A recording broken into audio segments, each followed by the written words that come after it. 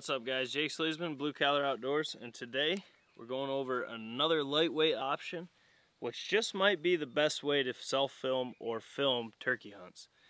So stay tuned. Alright guys, so we've used a lot of different options, filming hunts, filming turkey hunts, especially. Uh, we've had the Manfrotto Go, 190 Go I should say, that's really heavy, a lot of birds have lived due to that slowing us down, getting it set up, etc. Not being able to make the moves we want to do as quick as we can.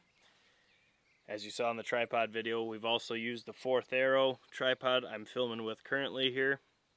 But this right here is, in my eyes, the best way to self-film a turkey hunt, or if you ground hunt deer, this would be an awesome option.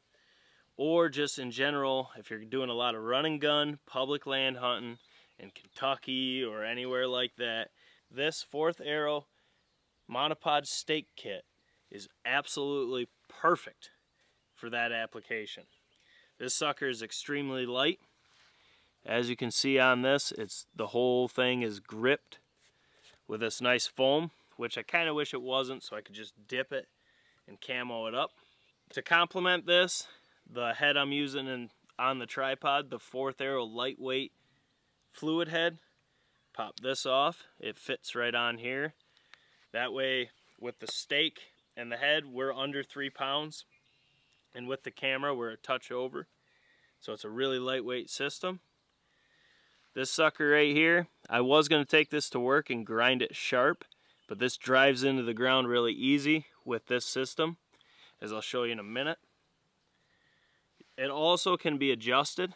It just has these clasps so you just pop them. And you can see here, you can see this is actually above my eyes. I'm 5'8", 5'9", on a good day. And that's fully extended. Would I film like this? No, I wouldn't because you can see how much swag's in there. Um, also, I just don't trust having it that elevated, but this is max height.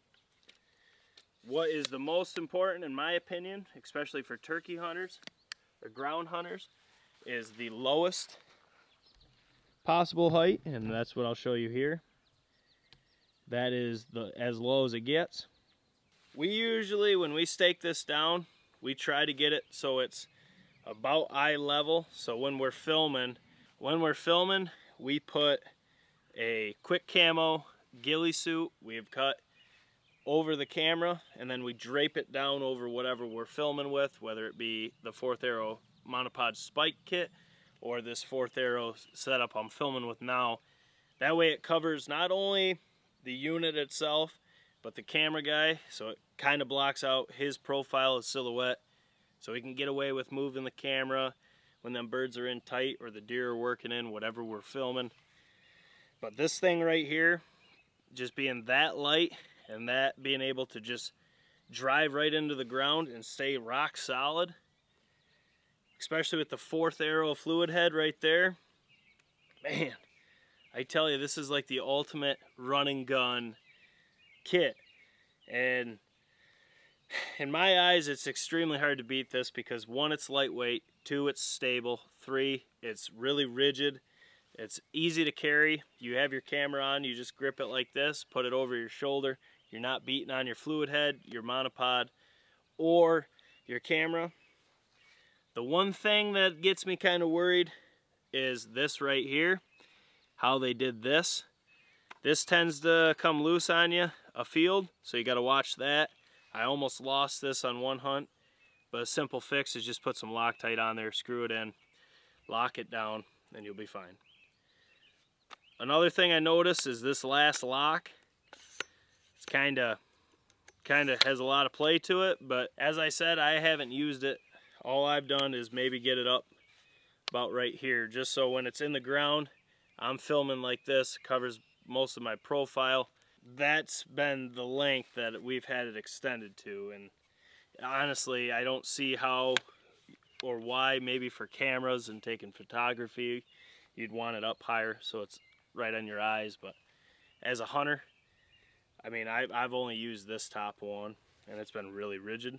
So what I'm going to do is take the camera and the fluid head off that, put it on this, and then I'll zoom in on my deer target I got down here and just show kind of the footage you can get with this bad boy and show how sturdy it is. So hold on, stay tuned. Got to swap them out and we'll be back.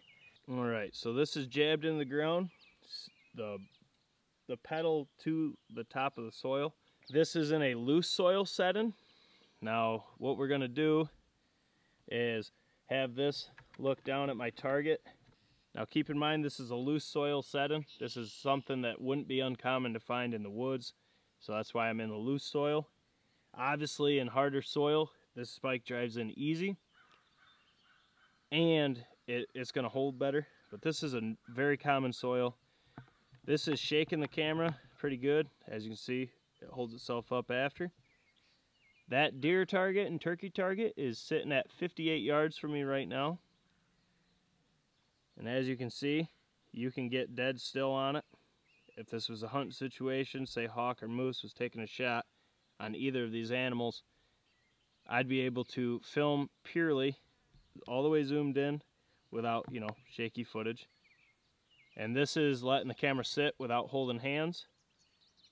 You can see here that it holds dead true. So if this was a self-filming situation, I could take a shot at either animal as well.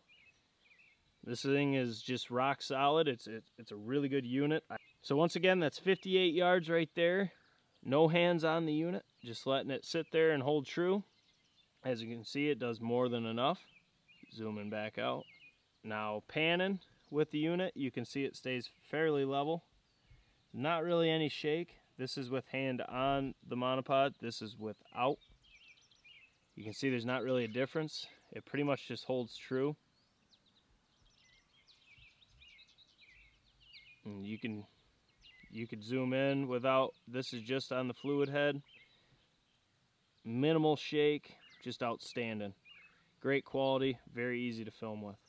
So as you can see, filming with this, you can have really crisp video. You can pan with both the hand on the unit or off just on the fluid head and it will hold its own. This stake is really good. I, I would recommend getting it in the ground to there, but I've had it as little as this and it's held up just fine. Uh, this sucker right here with the stake will run you 110. With the fluid head from Fourth Arrow, you're at about, uh, I don't know, 220, 2, 210. It's a really good way to get into self-filming or get into a run and gun experience filming. This thing is going to be awesome in Kentucky next year in all the states we're going to turkey hunt. So as far as ground hunting, filming for hawk, this is going to be a lifesaver too because that boy likes to move during deer season. So, But guys, this is just a quick overlook of the Fourth Arrow monopod stake kit. I do believe this is one of the best ways to self-film your hunts as long as you're not hunting on rocks. I mean, it, it's really hard to beat this.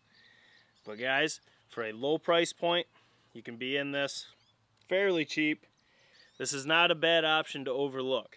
Like I said, guys, I want to help get some filming gear videos out there for you guys. Hopefully you guys can take them, learn from what I've wasted money on, invest your money wisely, build a YouTube channel, or just film great outdoors for your friends and family especially those who don't get to enjoy what we enjoy as hunters. It's not about killing, it's about the experience. And that's one of my favorite things to film for you guys is just the experiences we get blessed every day to have. God, it's hard to beat it, guys. You guys know. But if you haven't yet, smash the like button for this little dagger.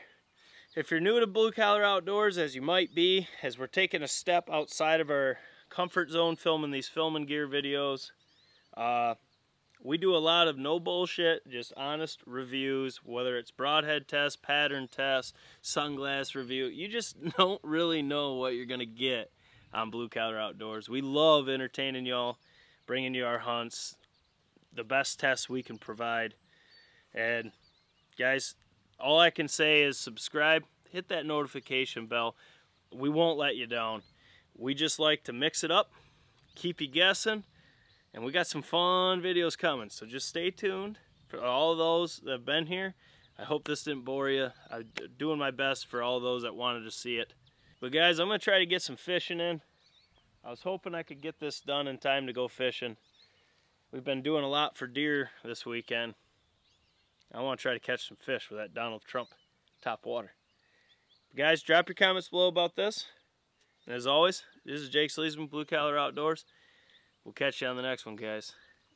It's toasty out here today.